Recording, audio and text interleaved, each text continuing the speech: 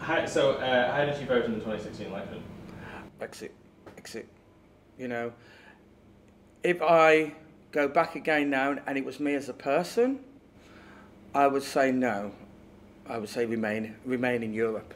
And now it's hitting my business.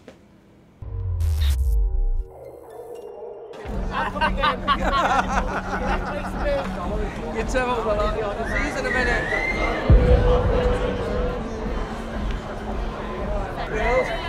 Membership scheme.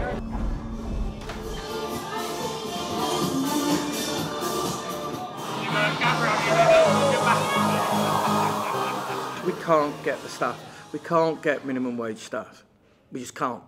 Uh, you know, we've just noticed it this year. Certainly around hospitality, we had a meeting, uh, a, a discussion about it, and literally is there is no enough staff to run.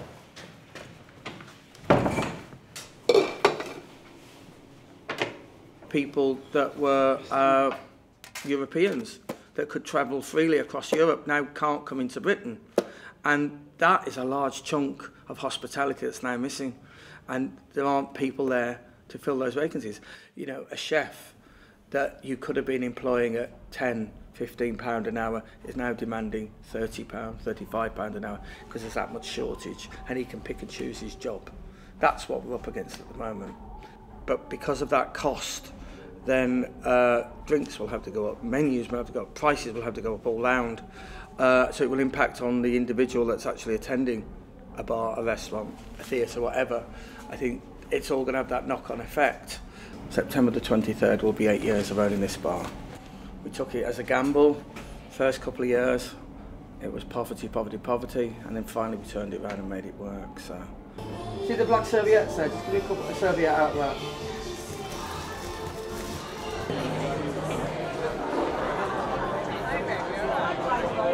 Literally is that bad. You go into a supermarket and the shelves are empty. You think it's not true, but it's true.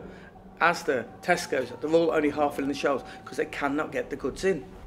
There's a shortage of beer, of certain products of beer. There's uh, the lorries can only come in at certain times, and sometimes they don't even come. I've got five pumps. One of those beers, I have, five pumps. One of those beers I can't stock because there isn't any. There isn't any there you know, they haven't got the stock to transport. You know, they could be sitting in the factory where they've made it, but they haven't got the transport to transport the beer to another part to bottle it to give it to me. Or, you know, that's what's going on, the chain supplies, and it's just knocking on and knocking on. Uh, you know, there is huge amounts within, within our industry that's missing. It's an absolute cock-up. How, so, uh, how did you vote in the 2016 election? Uh, how did I vote? I voted as a businessman and I voted exit, exit. You know, if I go back again now and it was me as a person, I would say no. I would say remain, remain in Europe. Uh, because what I've lost as a person, I think means more than my business, if that makes sense, uh, is that the freedom of movement means so much to me. And I think out of everything of Europe, that's the one thing that I regret that we've lost. You know, and now it's hitting my business.